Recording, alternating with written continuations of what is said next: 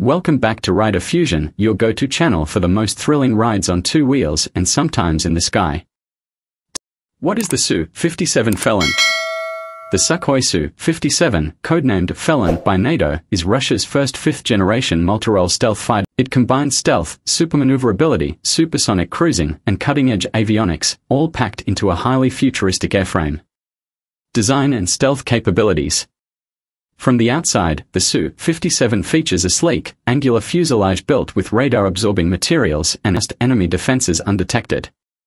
The canards, blended wing body design, and flat fuselage lines give it both stealth and aerodynamic agility. Engine and performance. Powered by twin Saturn AL-41F1 engines and later planned for upgraded Izdeliye 30 engines, the Su-57 can reach speeds up to Mach 2 with super cruise capability, meaning it can fly supersonically without afterburners.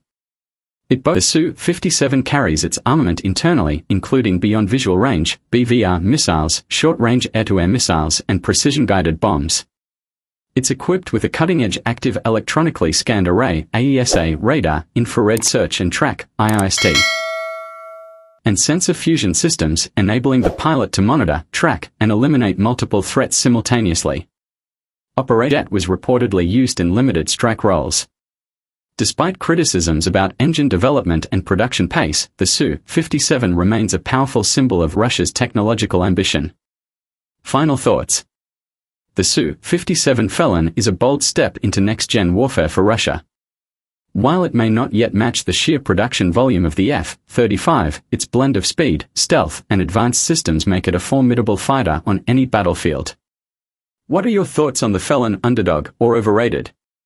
If you enjoyed this high-flying episode, make sure to hit that like button, subscribe to Rider Fusion, and turn on the bell icon so you never miss another journey whether it's on road, track, or in the skies.